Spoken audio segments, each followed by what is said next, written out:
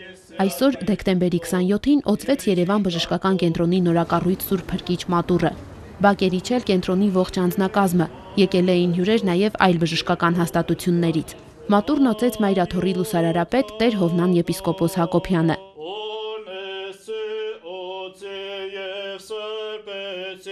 Աչ եւ հայակ թևսն սրբոխաչին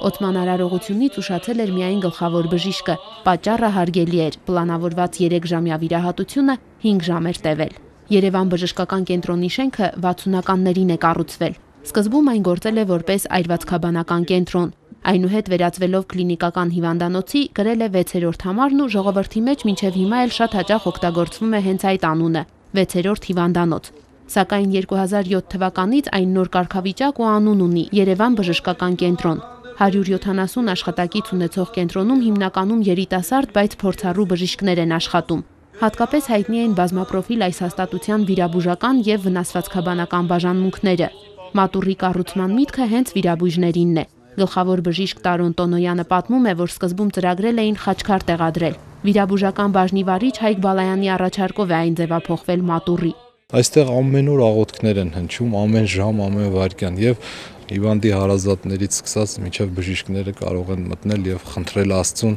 իսկ այդ դեպքում մենք գիտենք, որ շատ էս խնդրում անկեղծ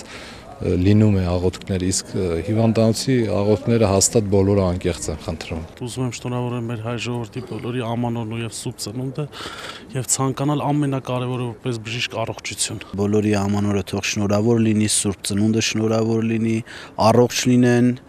եւ դժվարություններին դիմանան հայրենիքը չլքեն։ Իմ համար ամենամեծ